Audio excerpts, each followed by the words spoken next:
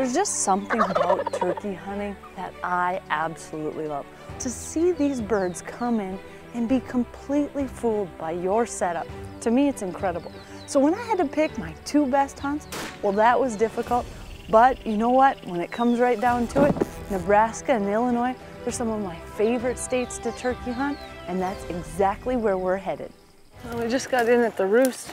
I'm gonna shoot my gun, I like to shoot it when I get here. I'm gonna be shooting three and a half inch five shot. And I've actually got the Magnum loads for this hunt, so I'm pretty excited to put them to use. I've been shooting it, it's been patterning just awesome all season. But I do have a red dot on it, so just like with the scope, I like to shoot it when I get here. So this is about 30 yards. I'll shoot here and then I might do one a little further too I had just incredible luck on the long range stuff. But um, it's always nice just to make sure you're all locked in. That way you're set for the entire hunt.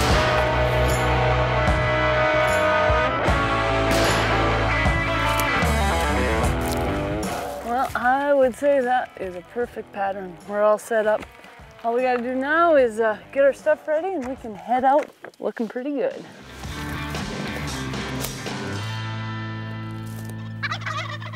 Set up right here by this tree in this tank. I don't think we can get all the way across the draw. They're still coming.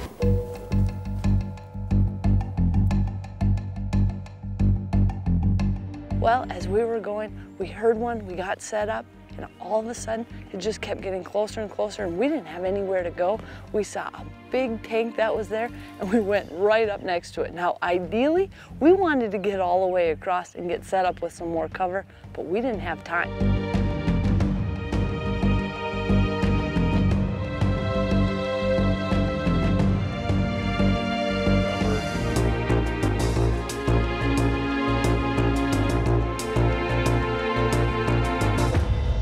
They just come in, come in, and all of a sudden Jeremy said, I don't think they're gonna get any closer, you better shoot. And I looked and almost all their heads seemed to be together, so I was trying to wait till they'd spread out. And he said, the left one's on its own. So I just swung over, took the shot and made a great shot, put it right down.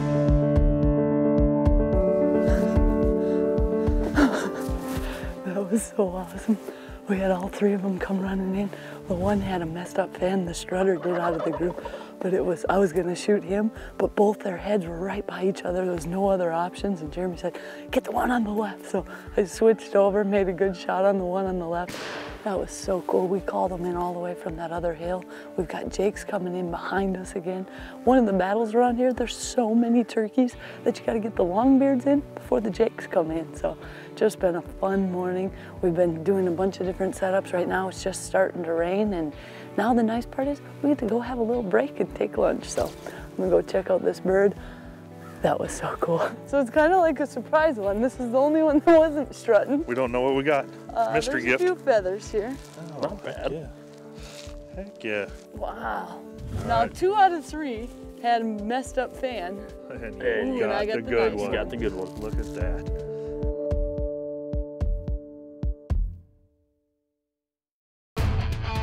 Repeat after me. Repeat after me. You can do it. Repeat after me. Winchester Repeating Arms. Worth repeating.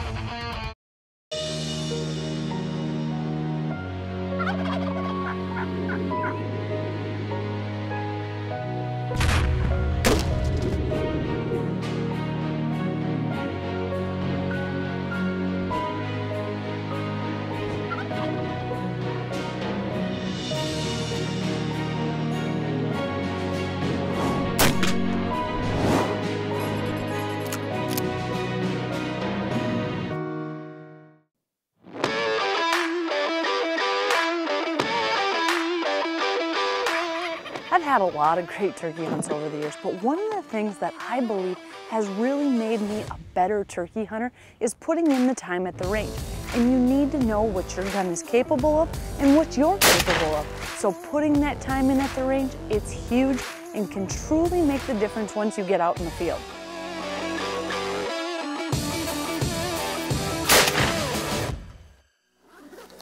Now today I'm gonna work on getting all my guns all sighted in. Now what I have is my turkey gun, I've got a 12 gauge, three and a half inch shells I'm gonna be using in five shot. Now I've got the Longbeard XR, and what I'm gonna actually test out today is seeing exactly what my patterns look like at different distances.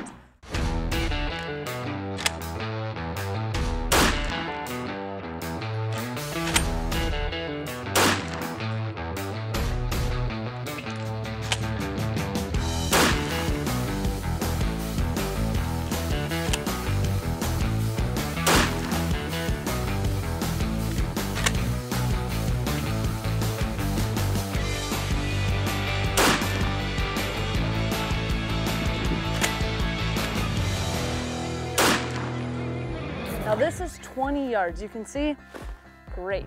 Now this is 30 yards. This is all with the 12 gauge, three and a half inch five shot, the Longbeard XR. Not until 40 did I even move up just a little bit, just to keep that pattern where I want it. Now this is 50 yards. This is what most people would consider basically the end of their kill zone. The Longbeard XR doing amazing. You've got all these pellets at 50 yards, absolutely incredible. Let's say you don't have a ton of time to keep going to the range and trying new combinations. Winchester also created the Pattern Board app where you can go in, you can use different choke, gun, ammo combinations and test it out. You can see what would happen as if you were at the range.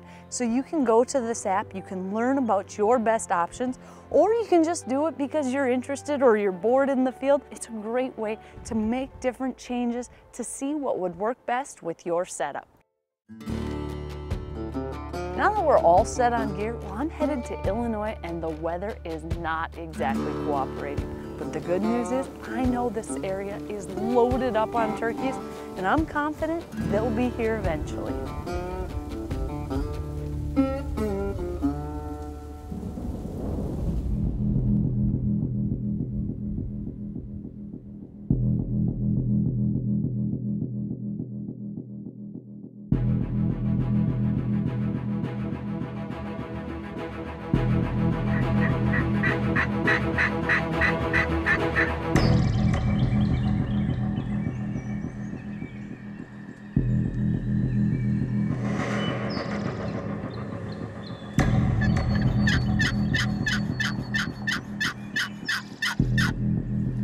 Well, we've had a rainy, wet morning. It wasn't supposed to rain at all, but for whatever reason, it's been raining. Right now, it's all starting to finally clear off, and it looks like the clouds are going to break. Now, I don't know what it's going to do to the turkeys, but we haven't heard any gobbles this morning. Now, I know there were at least two longbeards here on this field last night, so I don't know what the weather's going to do, but we've got our flock of Dave Smith decoys set up out front. Usually, the turkeys are coming on either the path to our left or the path to our right. Usually, they'll come to this field about 8 9 a.m but hard to say what's going to happen today so pork chop and i we're just going to sit it out see what happens and so far she hasn't called in any turkeys. She hasn't scared any either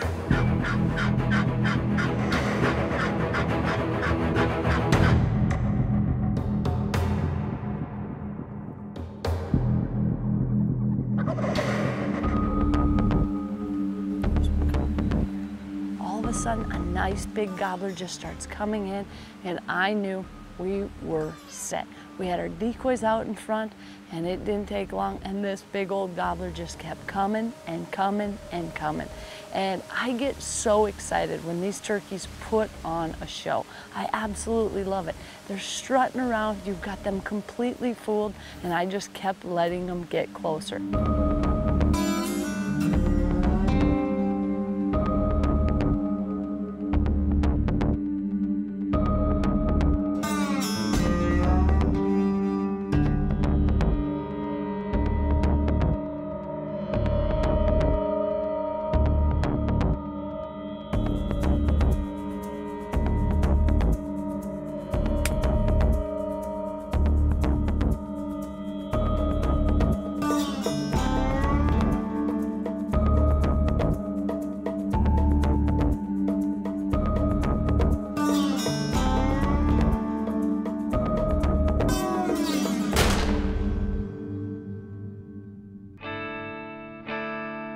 Turkey. Wow. Look at the size of this turkey. My goodness, look at the spurs. Wow, what a beautiful bird. Nice big eastern. I think what I love the most are these huge fans. He came in just full strut the whole time, hardly ever went out of strut, just awesome.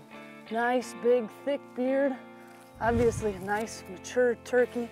Look at the size of these spurs, very nice. It is awesome. I love coming out to Illinois. I come here deer hunting, turkey hunting. I'm out at Golden Triangle and this has been such a fun hunt. We've got some beautiful birds, had so much fun, sat around the trailer, planted food plots, having fun with pork chop. It's just, this is what turkey hunting's all about. And honestly, I don't think there's a better way I could have ended it. Pork chop, come here. Oh, I see how it is. Feathers are more important than mom. That's a puppy for you, I guess.